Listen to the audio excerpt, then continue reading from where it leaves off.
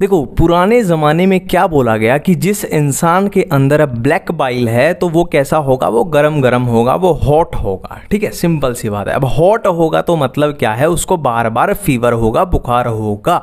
ठीक है, ये पुराने ज़माने की बात है। But but William Harvey William Harvey एक साइंटिस्ट है, उन्होंने क्या किया? ब्लड सर्कुलेशन की डिस्कवरी की और उन्होंने इस चीज़ को क्या कर दिया? डिसअप्रूव कर दिया। इन्होंने बोला, ये बिल्कुल गलत है। उन्होंने क्या किया? एक्सपेरिमेंट्स के थ्रू शो करके बताया कि ब्लैक बाइल वाला इंसान क्या है? नॉर्मल टेम्परेचर वाला भी हो सकता है। उन्होंने ये बताया, ठीक है? अब नेक्स्ट बढ़ते हैं आगे, वो सिंपल सी चीज़ें इन्फेक्शियस डिज़ीज़ क्या होती है? नॉन इन्फेक्शियस इन्फेक्शियस मतलब एक दूसरे से फैलती है और नॉन इन्फेक्शियस एक दूसरे से नहीं फैलती, वो सिंपल सी बातें हैं पांचवी क्लास वाली, ठीक है? अभी देखो, अपनी एनसीईआरटी में डिसीज कौन सी दी हुई है? बैक्टीरियल कौन सी है? Typhoid pneumonia dysentery plague diphtheria अब जो डिटेल में पढ़ना है अपने टाइफाइड निमोनिया के बारे में, क्योंकि इनका सिर्फ़ नाम लिखा है। वायरल कौन सी कॉमन कोल्ड जुकाम एड्स और प्रोटोजोन कौन सी? मलेरिया एंड अमीबियासिस फंजाई कौन सी? रिंग वॉम्स ठीक है, अब ये सारी सबको याद रह जाती हैं बट जो आपको भूलेंगी, जो कंफ्यूज करेंगी, वो है ये हेलमिंथिक डिज़ीज़ है ना? क्वेश्चन आ जाए कि हेलमिंथिक डिज़ीज़ कौन सी है? तो कौन सी? एस्केरियासिस एंड फिलेरियासिस अब देखो टाइफाइड टाइफाइड किस वजह से होता है? साल्मोनेला टाइफी एक बैक्टीरिया है जिसका नाम है साल्मोनेला टाइफी इसकी वजह से टाइफाइड होता है। सिंपल सी बात है। अब याद क्या रखना है? टाइफाइड कहाँ एंट्री मारता है? ये साल्मोनेला टाइफी जो बैक्टीरिया है, ये कहाँ पे एंट्री मारता है? स्मॉल इंटेस्टाइन में एंट्री मारता है। स्मॉल इंटेस्टाइन में एंट्री मारेगा तो टाइफाइड अपने को हो जाएगा। अब टाइफाइड हो जाएगा तो अपने अंदर क्या है? सिम्टम आएँगे। कौन से कौन से सिम्टम सबको पता है कि तेज बुखार होता है टाइफाइड में। वीकनेस कमज़ोरी आती है। स्टमक पेन, देखो स्मॉल इंटेस्टाइन में ये इफ़ेक्ट कर रहा है तो सिंपल सी बात है, पेट में दर्द तो होगा, और क्या होगा, सिर में दर्द भी होगा, और क्या है कॉन्स्टिपेशन कॉन्स्टिपेशन आपको पता ही है क्या होता है लॉस ऑफ़ एपेटाइट मतलब भूख कम लगेगी, ठीक है? अब देखो, अब क्या है, कुछ केसेस में, कुछ केसेस में, देखो, ये तो नॉर्मल सिम्टम है नॉर्मल है ना, मेरे को भी टाइफाइड हुआ है, मेरे को भी पता है क्या होता है है ना बट कुछ सीवियर केसेस में क्या हो सकता है इंटेस्टाइनल परफोरेशन भी हो सकती है, देखो स्मॉल इंटेस्टाइन पे अटैक कर रहा है तो सिंपल सी बात है इंटेस्टाइन पे ही कुछ करेगा ये इंटेस्टाइनल परफोरेशन भी हो सकती है और डेथ भी हो सकती है कुछ केसेस में, ठीक है? अब नेक्स्ट है, इसके लिए, इसको चेक करने के लिए कौन सा टेस्ट किया जाता है? Confirmed by Widal test Widal test हम पता लगा सकते हैं कि किसी को टाइफाइड है या नहीं, ठीक है? अभी एक मैरी मेलन थी मैरी मेलन टाइफाइड मैरी भी इसको बोला गया। क्यों बोला गया? क्योंकि इसको क्या सिंपल सा ये है कि ये एक कुक थी और इसको टाइफाइड था। अब कुक थी तो ये लोगों को खाना खिलाती रही। खाना खिलाती रही, इसको टाइफाइड था तो टाइफाइड भी खिलाती रही तो इसने टाइफाइड फैला दिया, ठीक है? ये सिंपल सी बात है यहाँ पे याद रखनी है। नेक्स्ट है निमोनिया। निमोनिया किस वजह से होता है? स्ट्रेप्टोकोकस निमोनिया या हीमोफिलिस इन्फ्लुएंजा इनकी वजह से, ये बैक्टीरिया की वजह से होता है। ठीक है? अब निमोनिया किसको अफेक्ट करता है? Alveoli of lungs alveoli of lungs है ना? अब निमोनिया में क्या होता है? एल्वियोलाई के अंदर क्या है? फ्लूड भर जाता है। अब एल्वियोलाई के अंदर जब फ्लूड भर जाएगा तो सिंपल सी बात है एल्वियोलाई अच्छे से काम नहीं कर पाएँगे। अब एल्वियोलाई अच्छे से काम नहीं करेंगे तो रेस्पिरेटरी प्रॉब्लम्स होंगी, ठीक है? और इसके सिम्टम क्या है? फीवर बुखार होगा चिल से ठंड लगेगी, कफ, खांसी होगी हेड सर में दर्द होगा, ठीक है? और सीवियर केसेस में क्या होता है? लिप्स नाखून लिप्स होंठ एंड नेल्स होंठ और जो नाखून है, वो क्या है? ब्लूइश पड़ जाते हैं, नीले पड़ जाते हैं, ठीक है? अब यहाँ पे एक बात याद रखेंगे निमोनिया ने किसको इफ़ेक्ट किया है? एल्वियोलाई ऑफ़ लंग्स को इफ़ेक्ट किया है, ठीक है? ये बात याद रखेंगे। नेक्स्ट है कॉमन कोल्ड कॉमन कोल्ड है अपना नॉर्मल सर्दी, जुकाम, है ना? जुकाम नॉर्मल किसकी वजह से होता है? राइनो वायरस की वजह से होता है। राइनो वायरस एक ग्रुप ऑफ़ वायरस है। राइनो वायरस एक ग्रुप ऑफ़ वायरस है। ठीक है? अब कॉमन कोल्ड किसको इफ़ेक्ट करता है? नोज़ को, नाक को और रेस्पिरेटरी पैसेज को। अब याद रखने लायक बात क्या है कि निमोनिया किसको अफेक्ट कर रहा था? लंग्स में अल्वियोलाई को अफेक्ट कर रहा था। बट कॉमन कोल्ड जो जुकाम है, वो लंग्स तक नहीं पहुँचता, वो एल्वियोलाई को अफेक्ट नहीं करता। वो सिर्फ़ अपर एरिया जैसे कि नोज़ नाक होगी रेस्पिरेटरी पैसेज होगी, सिर्फ़ इसको अफेक्ट करता है। ठीक है, इसलिए कम डेंजरस है। ठीक है, और ये तीन सात दिन में जुकाम आपको पता ही है, तीन सात दिन में ठीक हो ही जाता है अपना। नेक्स्ट है एस्केरियासिस नाम से ही पता लग रहा है एस्केरियसिस किसकी वजह से होगी? एस्केरिस की वजह से होगी। एस्केरिस क्या होता है? सबको पता है एनिमल किंगडम में सबने पढ़ा है राउंड वर्म होता है, ठीक है? ये कैसा है? इंटेस्टाइनल पैरासाइट है इंटेस्टाइनल पैरासाइट याद करो टाइफाइड कहाँ पे था? स्मॉल इंटेस्टाइन में। निमोनिया कहाँ पे? एल्वियोलाई ऑफ़ लंग्स में। और कॉमन कोल्ड कहाँ पे? अपर रेस्पिरेटरी पैसेज नोज़ में, ठीक है? और एस्केरियसिस कहाँ पे? इंटेस्टाइनल पैरासाइट और इसके सिम्टम क्या है? Internal bleeding muscular pain fever बुखार एनीमिया खून की कमी ब्लॉकेज ऑफ़ इंटेस्टाइनल पैसेज। ठीक है? अब नेक्स्ट है एलिफेंटियासिस या इसका दूसरा नाम है फिलेरियासिस ठीक है? ये किस वजह से होती है? वुचरेरिया वुचरेरिया मलाई या वुचरेरिया बैन क्रॉफ्टी की वजह से ये होती है, ठीक है? नेक्स्ट है, इसमें होता क्या है? इसमें देखो, ऐसे याद रखना एलिफेंटियासिस सबको पता ही होता है वैसे तो एलिफेंट मतलब हाथी जैसा पैर हो जाएगा। क्यों हो जाएगा? सिंपल सी बात है इन्फ्लामेशन की वजह से इन्फ्लामेशन की वजह से हाथी जैसा पैर हो जाएगा, ठीक है? यूजुअली क्या होता है? यूजुअली इसमें लोअर लिम्ब लोअर लिम्ब यानी पैरों में जो लिम्फेटिक वेसल है, वो एक तरीके से ऐसे याद रख लो, ब्लॉक हो जाती है या उसमें इन्फ्लामेशन पैर में पूरी हो जाती है तो एलिफेंट यानी हाथी जैसा पैर हो जाता है। बस खत्म है, यहाँ पे याद रखने लायक बात सिर्फ़ इतनी थी lymphatic vessel of lower limb number एक नंबर दो Wuchereria malayi and Wuchereria bancrofti इससे ज़्यादा इसमें क्वेश्चन बनेगा ही नहीं। ठीक है? अब इसके बाद है नेक्स्ट अमीबियासिस या इसका दूसरा नाम है अमीबियासिस का ही दूसरा नाम है अमीबिक डिसेंट्री ठीक है? नाम से ही पता लग रहा है कि किसकी वजह से होगा? Entamoeba histolytica.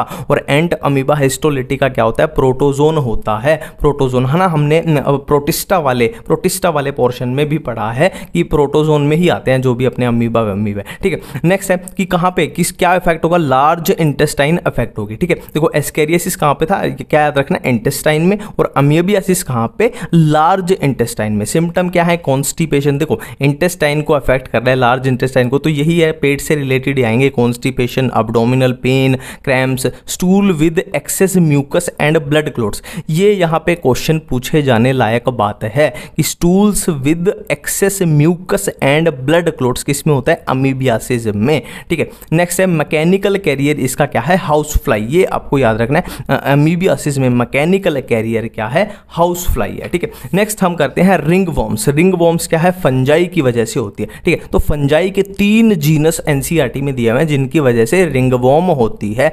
Microsporum trichophyton Epidermophyton ठीक है? और रिंग वॉर्म नाम से ही पता लग रहा है, आपने देखिए ना? रिंग गार्ड आती है ना? तो रिंग वॉर्म्स में क्या होगी? दाद खाज, खुजली, वही होंगी। ड्राई स्केली लीजन वेरियस पल कहाँ कहाँ पे? स्किन पे नेल्स में स्काल्प में, है ना? तो पता ही है ना, क्या होगा इसमें? दाद खाज, खुजली टीवी में एड भी आती है। इंटेंस इचिंग खुजली खुजली होगी और हीट एंड मॉइस्चर है, वो फंजाई को ग्रो करने में हेल्प करती है, ये भी सबको पता ही होगा। अब हम करने वाले हैं मलेरिया। तो मलेरिया में पहले हम याद करने वाला पोर्शन कंप्लीट कर लेते हैं, फिर हम कर लेंगे समझने वाला पोर्शन। तो मलेरिया किसकी वजह से होता है? प्लाज्मोडियम की वजह से। एक प्रोटोजोन है प्लाज्मोडियम, ठीक है? प्लाज्मोडियम की वजह से। अब तीन टाइप के प्लाज्मोडियम की वजह से ये हो सकता है। Plasmodium vivax, Plasmodium malariae, Plasmodium falciparum. अब फेल्सीपेरम पे मैंने रेड कलर का स्टार लगाया है। क्यों लगाया? क्योंकि ये मेलिग्नेंट मलेरिया कॉज करता है। मतलब जो सबसे डेंजरस मलेरिया होता है, वो फेल्सीपेरम कॉज करता है, ठीक है? और क्या फीमेल एनाफ्लीज का लेना देना होता है मॉस्किटो का, कैसे होता है वो हम आगे देख लेंगे, सबको पता ही होता है है ना? इसमें दो होस्ट चाहिए ह्यूमन और मॉस्किटो और कैसे चाहिए ये दो होस्ट ये अभी हम समझ लेते हैं कि मॉस्किटो का क्या रोल है ह्यूमन का क्या रोल है। अब करते हैं हम मलेरिया साइकिल, ठीक है? और आपको पता ही है, मेरा सारा काम मैनुअल है तो डायग्राम थोड़ा उल्टा सीधा हो गया, पर कोई दिक्कत नहीं है, ठीक है? देखो, सिंपल है, यहाँ से हम शुरू करेंगे, बिल्कुल सिंपल, कि किसी आदमी को मच्छर ने काटा, हम यहाँ से शुरू करेंगे और अपनी साइकिल कंप्लीट करेंगे। देखो, किसी मनुष्य को एक मच्छर ने काटा तो मच्छर क्या करेगा? अब उस मनुष्य के अंदर क्या है? स्पोरोजोइड्स रिलीज़ कर देगा, है ना? ये मच्छर क्या करेगा? इस मनुष्य के अंदर स्पोरोजोइड्स रिलीज़ कर देगा। अब ये स्पोरो स्पोरोजोइड्स क्या होंगे? ब्लड के थ्रू, ब्लड के थ्रू कहाँ पहुँच जाएँगे? लीवर में पहुँच जाएँगे। अब लीवर है तो लीवर में क्या होंगी? लीवर की सेल्स होंगी। तो लीवर के सेल्स के अंदर ये स्पोरोजोइड्स क्या है? एंट्री मार गए। देखो, ये लीवर की सेल्स है, इनके अंदर एंट्री मार गए। और लीवर की सेल्स के अंदर ये स्पोरोजोइड्स क्या करेंगे? ए सेक्शुअली रिप्रोड्यूस करेंगे, है ना? तो सिंपल सी बात है, एक, देखो, एक सेल के अंदर अगर ये स्पोरोजोइड्स रिप्रोडक्शन करते जाएँगे मतलब अपना नंबर बढ़ाते जाएँगे तो एक टाइम तो ऐसा आएगा ना कि वो सेल की तो लिमिट है ना सेल का जो स्पेस है वो लिमिटेड है तो ये अंदर डिवाइड करते जा रहे हैं तो एक टाइम पे क्या करेंगे, ये सेल को क्या कर देंगे ब्लास्ट कर देंगे बस्ट कर देंगे, एक तरीके से वो सेल फट जाएगी, है ना? वो सेल ब्लास्ट जब करेगी तो क्या स्पोरोजोइड्स क्या है, बाहर रिलीज़ होंगे। अब ये स्पोरोजोइड्स जो रिलीज़ हुए, ये ब्लड के थ्रू ब्लड में आ जाएँगे, है ना? और ब्लड में ये किसको टारगेट करेंगे आरबीसी रेड ब्लड सेल को टारगेट करेंगे, और बिल्कुल बिल्कुल जैसे लीवर सेल के साथ इन्होंने जो कार्यक्रम किया था, वही ये आरबीसी के साथ करेंगे कि उनके अंदर आ जाएँगे, फिर ए सेक्शुअली रिप्रोड्यूस करेंगे, है ना? अब ए सेक्शुअली रिप्रोड्यूस जब आरबीसी में होती है तो यहाँ पे याद रखना है, यहाँ पे हमें सिम्टम दिखने को मिलते हैं, जैसे साइकिल्स ऑफ़ फीवर बार बार बुखार होगा और बाकी के सिम्टम ठीक है? सिंपल सी बात है। अब जैसे लीवर सेल ब्लास्ट कर गई थी, वैसे ही आरबीसी भी क्या करेंगी, एक टाइम पे ब्लास्ट कर जाएँगे, क्योंकि इनका स्पेस भी तो लिमिटेड है, इनके अंदर ये डिवीज़न होती जा रही है, ठीक है? तो क्या होगा? ये ब्लास्ट कर जाएँगी तो आरबीसी से बाहर निकलेंगे। तो बाकी की जितनी आरबीसी बची ना, ये बाकी आरबीसी को भी अब इन्फेक्ट कर देंगे। अब अब ध्यान रखने लायक बात क्या है कि बाकी की जब आरबीसी को इनने इन्फेक्ट किया तो वहाँ पे क्या है? वहाँ पे अपनी बनेंगी क्या? सेक्सुअल स्टेजेस है ना? मेल गेमीटोसाइट और फीमेल गेमीटोसाइट बनेंगे। ठीक है, यहाँ पे मेल गेमीटोसाइट और फीमेल गेमीटोसाइट कहा? आरबीसी में अपने बन चुके हैं। ठीक है, अब देखो, अब ये ह्यूमन के अंदर बन चुके इस मनुष्य के अंदर ये बन चुके हैं। अब अब देखो, अब कोई मच्छर आया, अब कोई मच्छर आया और उसने इसको काटा, है ना? कोई मच्छर आया, कोई दूसरा मच्छर आया, उसने इसको काटा तो वो वो इन इन, इनको गमीटोसाइट्स को क्या है? ब्लड मील के थ्रू है ना? मच्छर तो क्या करता है? खून पीता है। तो खून के थ्रू ब्लड के थ्रू इन गेमीटोसाइट्स को उठा ले जाएगा, ठीक है? उन गमीटोसाइट्स को उठा ले जाएगा, ठीक है? अब ये ब्लड इसके लिए तो खाना है, मच्छर के लिए तो बेचारे के लिए तो। खाना कहाँ जाएगा? इसके गट में जाएगा। अब इसके गट में मॉस्किटो के गट में क्या होगी? ये मेल गेमीटोसाइट और फीमेल गेमीटोसाइट क्या बनाएँगे? आगे जाके गेमीट बनाएँगे तो गेमीट्स के बीच में क्या होगी? फर्टिलाइजेशन होगी, है ना? फर्टिलाइजेशन होगी, सिंपल सी बात है। यहाँ पे फर्टिलाइजेशन हो चुकी है और फर्टिलाइजेशन के रिज़ल्ट से अपने क्या बनेंगे? स्पोरोजोइड्स बनेंगे। अब अब ये इसके गट में फर्टिलाइजेशन हुई और स्पोरोजोइड्स बने। अब ये स्पोरोजोइड्स कहाँ आ जाएँगे? उस मॉस्किटो के, इस मॉस्किटो के कहाँ आ जाएँगे? ये सलाइवा में आ जाएँगे। सलाइवा, सलाइवरी ग्लैंड में आ जाएँगे, है ना? और सलाइवा के थ्रू ये जब किसी इंसान को, दूसरे इंसान को काटेगा सलाइवा के थ्रू, है ना? अब इसके सलाइवा में क्या है? स्पोरोजोइड्स है। अब ये किसी दूसरे इंसान को काटेगा तो स्पोरोजोइड्स उसमें रिलीज़ कर देगा और सेम साइकिल रिपीट होती जाएगी। अब यहाँ क्वेश्चन के, मैं जो क्वेश्चन पूछे जा सकते हैं वो बता देता हूँ, वो बता देता हूँ। देखो, लीवर सेल में कैसी रिप्रोडक्शन? Asexual reproduction. आरबीसी में यहाँ पे कैसी थी? ए सेक्शुअल रिप्रोडक्शन थी। और सेक्शुअल स्टेजेस कहाँ बनी थी? आरबीसी में बनी थी। फर्टिलाइजेशन कहाँ पे होगी? मॉस्किटो के गट में होगी, ठीक है? और ये स्पोरोजोइड्स कहाँ पे होंगे? ये सलाइवा में माइग्रेट सलाइवरी ग्लैंड में माइग्रेट करेंगे, ठीक है? देखो, मैं फिर से रिपीट करता हूँ क्वेश्चन कहाँ पूछे जाएँगे? लीवर में कैसी ए सेक्शुअल रिप्रोडक्शन आरबीसी में यहाँ कैसी ए सेक्शुअल रिप्रोडक्शन और सेक्शुअल स्टेजेस कहाँ बनेंगी? आरबीसी में बनेंगी। फर्टिलाइजेशन कहाँ होगी? मच्छर के अंदर होगी। मच्छर के पेट में, या गट में बोलो ना, पेट में तो मैं वैसे general knowledge general language use कर रहा हूँ, ठीक है? मच्छर के गट में होगी, ठीक है? ये अपन याद रखेंगे। अब देखो इम्यूनिटी दो टाइप की होती है इन्नेट एंड एक्वायर्ड देखो इन्नेट होती है बाई बर्थ है ना? बाई बर्थ मतलब हम पैदा हुए, हमें वो मिली। एक्वायर्ड मतलब हमने दुनिया में आके एक्वायर की मतलब आफ्टर बर्थ ठीक है, अब बारी बारी से बात करते हैं इन्नेट में क्या है और एक्वायर्ड में क्या है। देखो इन्नेट इम्यूनिटी की सिंपल सी ट्रिक है P two C two innate immunity की सिंपल सी ट्रिक मैंने बताई पी टू सी टू अब ये पी टू क्या है? पी टू मतलब है फ़िज़िकल फ़िज़िकल एंड फिजियोलॉजिकल और सी टू क्या है? सेलुलर साइटोकाइन इन्नेट इम्यूनिटी की मैंने ट्रिक बताई P two C two P two मतलब फ़िज़िकल फिजियोलॉजिकल सी टू मतलब सेलुलर साइटोकाइन फ़िज़िकल में आएँगी बॉडी की कवरिंग बॉडी की आउटर कवरिंग जैसे कि स्किन बॉडी की इनर कवरिंग जैसे कि म्यूकस फिजियोलॉजी फिजियोलॉजिकल की मैं सिंपल सी ट्रिक बताता हूँ बॉडी की जो भी एसिडिक सिक्रीशन है एसिडिक सिक्रीशन को डाल देना कहाँ? फिजियोलॉजिकल में। एच सी एल सलाइवा है ना? एच क्या है? स्टमक में एसिडिक सलाइवा क्या है? एसिडिक और टीयर्स यूरिन यूरिन भी अपना एसिडिक है। और इसमें फीवर भी याद रख लेना, ठीक है? सेलुलर में क्या है? सेलुलर में अपनी सेल्स आ जाएँगी, जैसे कि न्यूट्रोफिल है। न्यूट्रोफिल क्या है? Phagocytic monocyte natural killer cells है मैक्रोफेजिस है, ठीक है? और साइटोकाइन में आएँगे इंटरफेरोन साइटोकाइन में आएँगे इंटरफेरोन अभी बस इतना याद याद रख लो इंटरफेरोन यहाँ पे आएँगे। और इंटरफेरोन क्या होते हैं, ये मैं आपको आगे बता दूँगा। इंटरफेरोन कैंसर में अपना बिल्कुल क्लियर हो जाएगा, ठीक है? नेक्स्ट है फिर एक्वायर्ड नेक्स्ट एक्वायर्ड इम्यूनिटी देखो एक्वायर्ड इम्यूनिटी दो टाइप की एक्टिव पैसिव ठीक है? एक्टिव और पैसिव नाम से पता लग रहा है। एक्टिव मतलब हमने खुद बनाई पैसिव मतलब हमें कहीं और से मिली, हमने खुद नहीं बनाई, ठीक है? अब देखो, हमने खुद बनाई वो दो टाइप की हो सकती है। नेचुरल और आर्टिफिशियल मतलब हम नेचुरली खुद बनाई और आर्टिफिशियल मतलब हमसे बनवाई जाए। और पैसिव मतलब पैसिव भी दो टाइप की हो सकती है। नेचुरल आर्टिफिशियल नेचुरल मतलब हमें नेचुरली किसी और से मिले और पैसिव मतलब हमें आर्टिफिशियली किसी और से मिले अब एक्टिव नेचुरल की बात करते हैं। देखो एक्टिव नेचुरल का मतलब है एक्टिव मतलब हमने खुद बनाई नेचुरल मतलब नेचुरली बनाई। फॉर एग्जांपल मेरे को जुकाम हो गया। फॉर एग्जांपल मेरे को जुकाम हो गया तो उस जुकाम, उस वायरस के खिलाफ मेरे अंदर नेचुरली एंटीबॉडी बन जाएँगी कॉमन कोल्ड नेचुरल इन्फेक्शन ठीक है? और आर्टिफिशियल फॉर एग्जांपल मान लो मेरे को कोरोना की वैक्सीन लगी तो कोरोना की वैक्सीन किस लगी? कि ताकि मैं कोरोना के खिलाफ, ताकि मेरी बॉडी कोरोना वायरस के खिलाफ एंटीबॉडी बनाया जाए ना? मेरी बॉडी खुद बनाए ना? बट बट वो आर्टिफिशियल है, मेरे से बनवाई गई, मेरे को वैक्सीन लगवा के वैक्सीनेशन टेटनस पोलियो ठीक है? मैंने खुद बनाई बट मेरे से बनवाई गई वैक्सीनेशन करवा के, ठीक है? नेक्स्ट पैसिव पैसिव मतलब किसी और से मिलेगी, ये बात तो क्लियर है। अब नेचुरली मिलेगी या आर्टिफिशियल मिलेगी, वो देखते हैं। नेचुरली कैसे मदर से जो मिलती है ना मदर के मिल्क में जो होती है मदर से नेचुरली मिलती है कौन सी आईजीए जो कोलोस्ट्रम में होती है मदर से मिली नेचुरली मिली, बिल्कुल। और आर्टिफिशियली फॉर एग्जांपल किसी को सांप काट गया तो सांप काट गया, उसको हॉस्पिटल लेके जाएँगे तो डॉक्टर्स डॉक्टर्स क्या, उसको एंटी वेनम लगाएँगे ना? किसी और से मिली डॉक्टर से मिली तो पैसे होगी, है ना? आर्टिफिशियल मतलब किसी को सांप नहीं काटता तो वो नहीं देनी पड़ती, है ना? बिल्कुल आर्टिफिशियल है। और मदर वाली तो सबको नेचुरली लेनी ही पड़ेगी ना? ये अपना इम्यूनिटी में।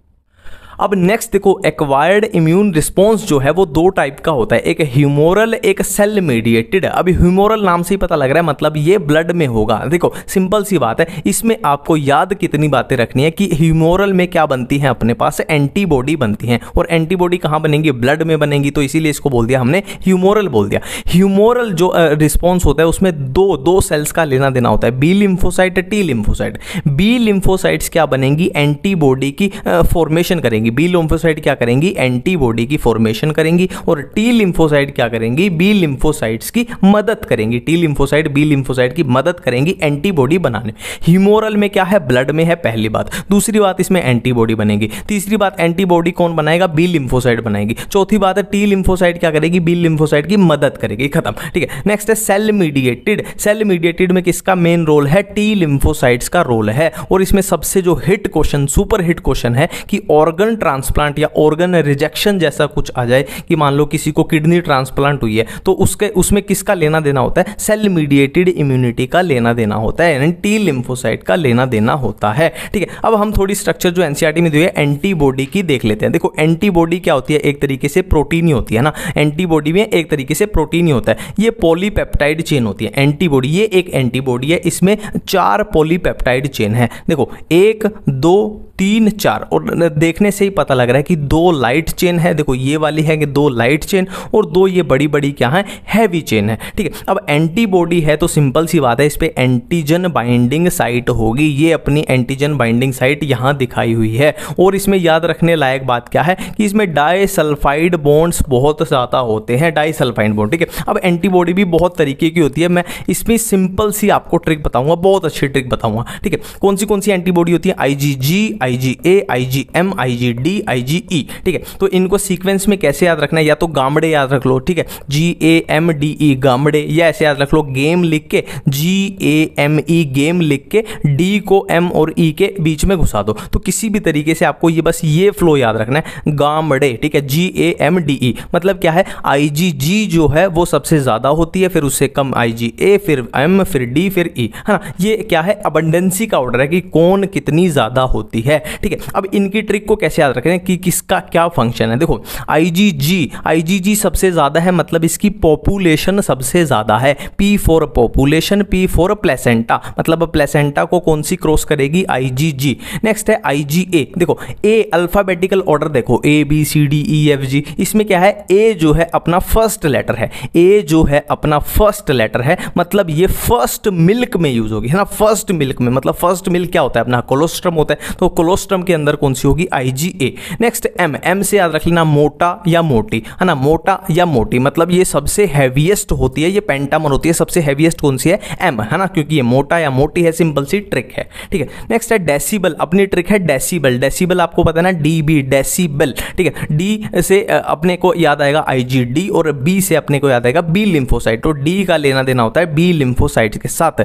नेक्स्ट है ई e, ई e को हम हाईलाइट कर देंगे ई e के साथ है ना? ई के साथ जो एलर्जी में जो ई आता है, उसके साथ इसको मैच करा देंगे। एलर्जी के अंदर जो ई आता है, उसको हम ई के साथ मैच करा देंगे। मतलब आई का लेना देना होता है किसके साथ? एलर्जी के साथ, ठीक है? नेक्स्ट हम करते हैं लिम्फोइड ऑर्गन्स की बात। लिम्फोइड ऑर्गन्स हमारे पास दो टाइप के प्राइमरी एंड सेकेंडरी प्राइमरी कौन से कौन से? Bone marrow and thymus secondary में बहुत सारे आ जाएँगे। Spleen lymph nodes tonsils Peyer's patches appendix ठीक है? अब इनके फ़ंक्शन याद करते हैं। देखो सिंपल सी बात है। जो प्राइमरी लिम्फोइड ऑर्गन है, वो है है आपका कोचिंग इंस्टीट्यूट कोचिंग सेंटर और जो सेकेंडरी लिम्फोइड ऑर्गन है, वो है आपका नीट का एग्ज़ाम हॉल ठीक है, मेरी बात समझो, जो प्राइमरी लिम्फोइड ऑर्गन है, वो है क्या है अपना? कोचिंग इंस्टीट्यूट है या स्कूल है या कोचिंग सेंटर है या ऑनलाइन कोचिंग है, जो भी है। ठीक है, और सेकेंडरी लिम्फोइड ऑर्गन क्या है? अपना नीट का एग्ज़ाम हॉल मतलब क्या है? प्राइमरी लिम्फोइड ऑर्गन में जो लिम्फोसाइट्स हैं, वो क्या है? मैच्योर होंगी डिफ्रेंशिएट होंगी। मतलब क्या है? अपनी फाइट के लिए, अपनी लड़ाई के लिए यहाँ पे तैयारी करेंगी और यहाँ क्या है साइट ऑफ़ इंटरेक्शन मतलब यहाँ पे एक्चुअल लड़ाई करेंगी। ठीक है सिंपल सी बात है। हम नीट की तैयारी कर रहे हैं तो नीट की हम पूरे साल कहाँ पे मैच्योर होंगे डिफ्रेंशिएट होंगे मतलब यहाँ पे हम तैयारी करेंगे लड़ने के लिए, नीट के लिए, लड़ने के लिए। और ये नीट का एग्ज़ाम होल है, यहाँ पे साइट ऑफ़ इंटरेक्शन मतलब यहाँ पे एक्चुअल फाइट होगी एक्चुअल एग्ज़ाम होगा। अब हम करने वाले हैं एड्स तो पहले मैं आपको बता देता हूँ कि एड्स के बारे में हमें याद क्या रखना है, फिर हम कर लेंगे समझने वाला पोर्शन ठीक है? सबसे पहले एड्स की full form acquired immunodeficiency syndrome खत्म। ठीक है? फ़र्स्ट रिपोर्टेड मतलब पहली बार कब रिपोर्ट हुआ एड्स 1981 एनसीईआरटी में लिखा हुआ है। ठीक है? अब एड्स होने का रीजन मतलब इसका कारण क्या है? तो इसका कारण है एचआईवी यानी ह्यूमन इम्यूनो डेफिशिएंसी वायरस अब एचआईवी जो वायरस होता है, वो वो किस किस ग्रुप का वायरस है? वो रेट्रो वायरस ग्रुप का वायरस है। अब यहाँ पे ध्यान देने कॉमन कोल्ड में क्या था? रीनो वायरस यहाँ पे क्या है? रेट्रो एड्स का है रेट्रो और कॉमन कोल्ड का है रीनो रीनो ठीक है? इसमें कंफ्यूज होंगे। देखो राइनो का मतलब होता है नाक, है ना? नोज़ के रिलेटेड तो वो कॉमन कोल्ड जुकाम वाला था, ठीक है? अब एड्स में क्या क्या इफ़ेक्ट होता है? Macrophages and T lymphocyte effect होती है। अब इसमें बहुत अच्छा क्वेश्चन होता है कि एचआईवी फैक्ट्री की तरह कौन काम करता है? मैक्रोफेजिस एच फैक्ट्री की तरह काम करते हैं। अब एड्स का डायग्नोस्टिक टेस्ट क्या है? एलिजा एंजाइम्ड लिंक्ड इम्यूनोसॉर्बेट असे। एंजाइम्ड लिंक्ड इम्यूनोसॉर्बेट असे, ठीक है? अब एक फुल फॉर्म यहाँ पे आपको याद रखनी है N A C O NACO National AIDS Control Organisation तो ये याद करने वाला पार्ट हो गया। अब देख लेते हैं कि इसमें समझने वाला पोर्शन क्या है।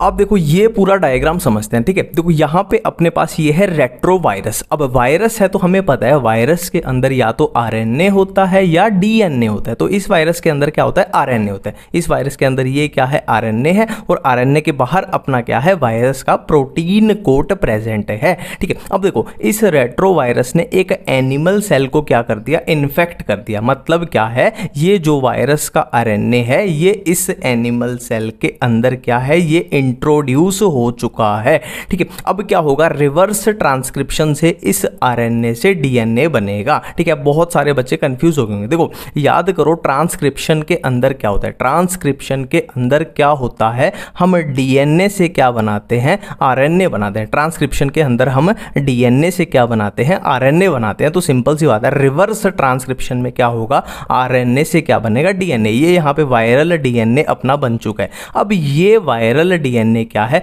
जो इस, ये एनिमल सेल थी, इसके क्या है, एक तरीके से जीनोम में एंट्री मार जाएगा मतलब इसके डीएनए में एंट्री मार जाएगा और इस पर चिपक जाएगा। अब इसके साथ चिपक जाएगा तो ये इसके, जो जैसे जैसे ये डीएनए बिहेव करेगा, वैसे वैसे ये वाला भी बिहेव करेगा मतलब ये रेप्लीकेशन भी करेगा, फिर ये ट्रांसक्रिप्शन शो भी करेगा। अब सिंपल सी बात है, यहाँ पे ये ट्रांसक्रिप्शन भी शो करेगा तो ट्रांसक्रिप्शन में अपना क्या होता है, डीएनए से आरएनए बनता है ना? डीएनए से आरएनए बनता है मतलब क्या है, फिर से उस डीएनए से आरएनए बन जाएगा मतलब ये वाला अपना फिर से यहाँ बन के तैयार है। पर फ़र्क क्या है? फ़र्क क्या है? ये इसके साथ रेप्लीकेट करेगा मतलब मल्टीपल कॉपीज बनाएगा मल्टीपल बहुत सारी, ठीक है? ये बहुत सारे बनेंगे, है ना? वायरस का लक्ष्य है, जो वायरस का टारगेट था, वो यही तो था कि एक एक वायरस का क्या आया? आरएनए आया, और उसने क्या है, इस इस सेल में क्या है, इसके साथ रेप्लीकेट कर, करके कर, करके क्या है, बहुत सारे वायरस के आरएनए बना दिए। तो बहुत सारे वायरस के वायरस के आरएनए क्या करेंगे? बहुत सारे वायरस बना देंगे ना? देखो, ये आरएनए था, फिर इसके सामने ये क्या आ जाएगा, साथ में प्रोटीन कोट आ जाएगा तो बिल्कुल सेम ऐसा बन गया,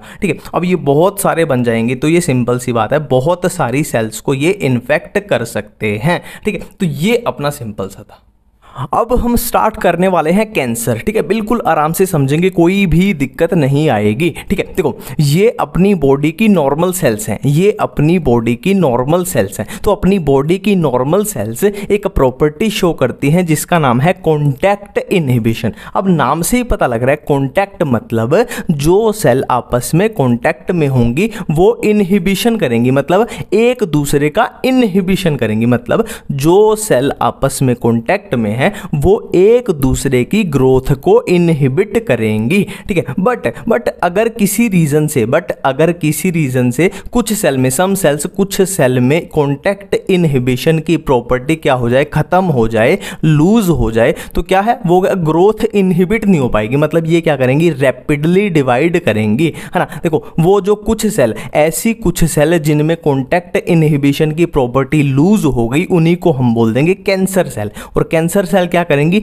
रैपिडली डिवाइड करेंगी। अब रैपिडली डिवाइड करेंगी तो क्या होगा? मासिस ऑफ़ सेल बन जाएँगे ना? सेल के क्या बन जाएँगे? मासिस बन जाएँगे। एक तरीके से रैपिडली डिवाइड करें तो इन्हीं मासिस ऑफ़ सेल्स को हम क्या बोल देते हैं? ट्यूमर बोल देते हैं। अब बिल्कुल क्लियर है ना कि कैंसर सेल क्या होती है? ऐसी सेल्स जो कॉन्टैक्ट इनहिबिशन की प्रॉपर्टी लूज कर चुकी हैं और वो रैपिडली डिवाइड करेंगी। अब ये कैंसर सेल डिवाइड कर करके डिवाइड कर करके डिवाइड कर करके सेल के मासिस जैसे बना देंगे। ना, गुच्छे जैसे बना देंगी और इन्हीं मासिस ऑफ़ सेल्स को हम बोलते हैं ट्यूमर अब ट्यूमर हमारे पास दो टाइप का होता है, एक बिनाइन ट्यूमर एक मेलिग्नेंट ट्यूमर देखो बिनाइन ट्यूमर के बारे में आपको याद रखना है कि बिनाइन ट्यूमर जहाँ पे हुआ, मान लो किसी की नेक में हुआ तो नेक में रह जाएगा, किसी के हाथ में हुआ तो हाथ में रह जाएगा, है ना? किसी के ब्रेन में हुआ तो ब्रेन में रह जाएगा मतलब जहाँ पे हुआ वहीं पे रह जाएगा ओरिजिनल लोकेशन पे. ये डू नॉट स्प्रेड मतलब एक दूसरी जगह पे फैलता नहीं है है अब ये दूसरी जगहों पे फैलता नहीं है, एक ही जगह पे रहता है। इसके, इसका डैमेज भी क्या है? कम है। नेक्स्ट है मेलिग्नेंट ट्यूमर तो मेलिग्नेंट ट्यूमर बिल्कुल उसके उल्टा है। ये क्या है? स्प्रेड थ्रू ब्लड मतलब एक जगह से दूसरी जगह पे बॉडी में ब्लड के थ्रू ये फैल जाता है। और इसी प्रॉपर्टी को हम क्या बोलते हैं? मेटास्टेसिस बोलते हैं। ठीक है? अब वो ये cell divide rapidly rapidly cell divide करेंगे। तो सिंपल सी बात है। सेल इतनी जल्दी जल्दी डिवाइड करेंगी तो खाने पीने की तो कमी हो जाएगी। तो खाने पीने का न्यूट्रिएंट्स के लिए क्या होगा? कंपटीशन होगा। अब ये एक दूसरी जगह पे फैलता है जो हाईली डैमेजिंग है ना। बिनाइन ट्यूमर क्या था? थोड़ा कम नुकसान करता है लिटल डैमेजिंग क्योंकि वो फैलता नहीं है। और ये फैल जाता है तो ये हाईली डैमेजिंग है, ठीक है। नेक्स्ट देखो देखो, ये नॉर्मल सेल है, ये कैंसर सेल में कन्वर्ट हो सकते हैं। किस वजह से? कुछ एजेंट्स की वजह से ना फ़िज़िकल एजेंट्स या केमिकल एजेंट्स या बायोलॉजिकल एजेंट्स की वजह से नॉर्मल सेल अपनी कैंसर सेल में कन्वर्ट हो सकती है। मतलब नॉर्मल सेल कॉन्टैक्ट इनहिबिशन की प्रॉपर्टी लूज करके कैंसर सेल बन सकती है कुछ एजेंट्स की वजह से। अब इन एजेंट्स को क्या बोलते हैं? कार्सिनोजन सिंपल सिंपल सी बात है। ऐसे एजेंट्स ऐसे एजेंट्स जो कैंसर कोज करते हैं, उन्हीं को हम बोल देते हैं क्या? कार्सिनोजन बोल देते हैं। नेक्स्ट देखो अब कैंसर कोजिंग वायरस को हम क्या बोलते हैं? ओनकोजेनिक वायरस देखो, जहाँ पे ओनको वर्ड दिख जाए ना आपको, आप हॉस्पिटल में भी देखना, जहाँ पे ओनको वर्ड दिख जाए मतलब क्या है उसका? कैंसर मतलब है। देखो ओनको अब बिल्कुल नाम से कुछ भी याद नहीं करेंगे।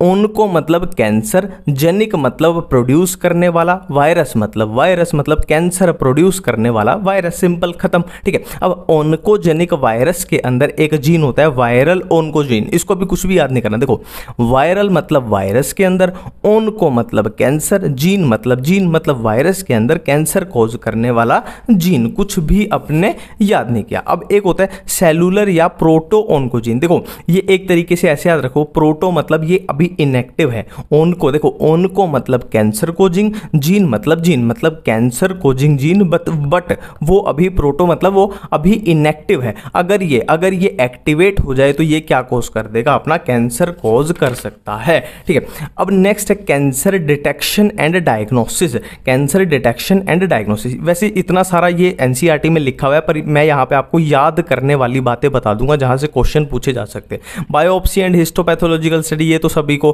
कर ही लेंगे, ठीक है? रेडियोग्राफी यूज़ होती है सीटी स्कैन यूज़ होता है एमआरआई यूज़ होता है, ये भी याद करने का यहाँ पे क्या है? सीटी स्कैन की फुल फॉर्म कंप्यूटेड टोमोग्राफी ये याद करने वाली बात है। एमआरआई मैग्नेटिक रेजोनेंस इमेजिंग ये यहाँ पे एक याद करने वाली बात है। और याद करने वाली बात है, देखो सीटी स्कैन में एक्सरे यूज़ करते हैं थ्री इमेज यहाँ पे ये क्वेश्चन के लायक बात है कि three image of internal organ हाँ एक्सरे का यूज़ करके किसमें? सीटी स्कैन में, ठीक है? मैं फिर से रिपीट करता हूँ three image of internal organ X-ray का यूज़ करके किसमें? सीटी स्कैन में। मैग्नेटिक रेजोनेंस इमेजिंग इसमें कुछ भी याद नहीं करना है सिंपल सी बात है strong magnetic field magnetic field का यूज़ करेंगे। बट बट यहाँ पे याद करने लायक बात क्या है कि मैग्नेटिक रेजोनेंस इमेजिंग में, यानी एमआरआई में हम नॉन आयोनाइजिंग रेडिएशन यूज़ करते हैं। ये यहाँ पे, ठीक है? पहली याद करने वाली बात हमने क्या की थी? सीटी स्कैन की फुल फॉर्म आपको भूल सकती है कंप्यूटेड टोमोग्राफी एमआरआई की सबको याद रखें। दूसरी बात क्या? सीटी स्कैन में सीटी स्कैन में three image of internal organ मिलती है एक्सरे का यूज़ करके, दूसरी बात। तीसरी बात एम में नॉन आयोनाइजिंग रेडिएशन अपन ने यूज़ की थी, है ना? अब ये लास्ट बात antibodies against cancer specific agent देखो कैंसर को हमें डिटेक्ट करना है तो सिंपल सी बात है, कैंसर को हमें डिटेक्ट करना है तो हमारी बॉडी में, हमारी बॉडी में कैंसर के खिलाफ क्या बनी हुई, कैंसर के, वो, कैंसर का जो एंटीजन आएगा, उसके खिलाफ क्या बनी होंगी, एंटीबॉडीज बनी होंगी, है ना? तो उन एंटीबॉडीज को हम पहचान के कि हाँ भाई, इसके अंदर एंटीबॉडीज बनी हुई हैं, है ना? एंटीबॉडीज तभी तो बनेंगी जब हमारी बॉडी में कुछ फॉरन, कुछ खतरनाक, कुछ एंट्री लिया होगा तो इस तरीके से हम पहचान सकते हैं, ठीक है? नेक्स्ट है, ट्रीटमेंट ऑफ़ कैंसर, इसमें आपको कोई दिक्कत नहीं आएगी, इसमें कुछ ऐसी याद करने वाली बात खास नहीं है ना? सर्जरी रेडिएशन थेरेपी इम्यूनोथेरेपी ये सबको पता ही होती है। रेडिएशन थेरेपी अब यहाँ पे एक याद करने वाली बात, यहाँ छोटी छोटी बातें आएँगी बिल्कुल। देखो रेडियोथेरेपी में क्या है? देखो, जिन जिन सेल्स में कैंसर हो चुका है ना, जो ट्यूमर सेल्स है, उसके सराउंडिंग की जो नॉर्मल सेल है ना, उनका ख्याल रखा जाता है। ठीक है? फॉर एग्ज़ाम्पल कि मेरा यहाँ पे दिल्ली में कैंसर फैल चुका है तो दिल्ली के आसपास का जो एरिया है, उनका ख्याल रखा जाएगा रेडियोथेरेपी के द्वारा। कीमोथेरेपेटिक डल में क्या है? कैंसर सेल को ये मारेगी, ये सिंपल सी बात है कीमोथेरेपेटिक ड्रग है तो ड्रग को हम मारने के लिए यूज़ करेंगे। साइड इफ़ेक्ट सबको पता होता है कैंसर में कैंसर की दवाई से साइड इफ़ेक्ट है ना? युवराज सिंह का कि हमने देखा था, और कौन सी मूवी थी पता नहीं, वो हेयर लॉस हो जाता है एनीमिया हो जाता है तो हेयर लॉस का सबको पता ही होता है। अब मोस्ट कैंसर में क्या लिखा हुआ है कि कैंसर मोस्टली कैंसर्स को ठीक करने के लिए इन तीनों का कॉम्बिनेशन हम यूज़ करते हैं। सर्जरी भी रेडियोथेरेपी भी और कीमोथेरेपी भी कॉम्बिनेशन ठीक है? अब ये क्या है? Alpha interferon activate immune system ये हमने पढ़े थे कहाँ पे? इन्नेट इम्यूनिटी में पढ़े थे। कि देखो, कोई भी वायरस है, अपने अंदर कोई भी वायरस है, मान लो, वो कैंसर कोज कर रहा है तो उस वायरस के खिलाफ, उस वायरस के खिलाफ क्या है? अल्फ़ा इंटरफेरोन अपने रिलीज़ हो जाएँगे अब अल्फ़ा इंटरफेरोन क्या करेंगे? उस वायरस के खिलाफ हमारा इम्यून सिस्टम को एक्टिवेट करेंगे। तो सबसे पहले है ओपियोइड्स ओपियोइड्स को याद करने की सिंपल सी ट्रिक महाराष्ट्र का पोस्ट ऑफ़िस। एम एच से महाराष्ट्र और पीओ से पोस्ट ऑफ़िस। महाराष्ट्र का पोस्ट ऑफ़िस। अब देखो एम से हमारे पास आया मॉर्फिन एच से हमारे पास आया हीरोइन पी से हमारे पास आया पेपेवर सेमनीफेरम और ओ से हमारे पास आया ओपियोइड्स। अब देखो, ओपियोइड्स के बारे में जो भी दिया हुआ है, आप एनसीआरटी में चेक करो, आपकी सारी कंफ्यूजन दूर हुई कि नहीं, ठीक है? अब नेक्स्ट है कैनाबिनोइड्स देखो कैनाबिनोइड्स का प्लांट तो इसके नाम से ही हो जाएगा कैनाबिस स्टाइवा ठीक है? कैनाबिनोइड्स के नाम से ही हो गया कैनाबिस स्टाइवा ये इसका प्लांट हो गया जहाँ से कैनाबिनोइड्स हमें मिलते हैं। अब इसमें बात करते हैं आगे की ट्रिक तो बहुत सिंपल ट्रिक है कि कान पे मारना चाहिए अगर आशीष चरस गांजा लेता है तो। ठीक है? चरस गांजा लेना ड्रग्स लेना, बुरी बात है तो आशीष अगर चरस गांजा लेता है तो उसके कान पे मारना चाहिए। यही अपनी सिंपल सी ट्रिक है।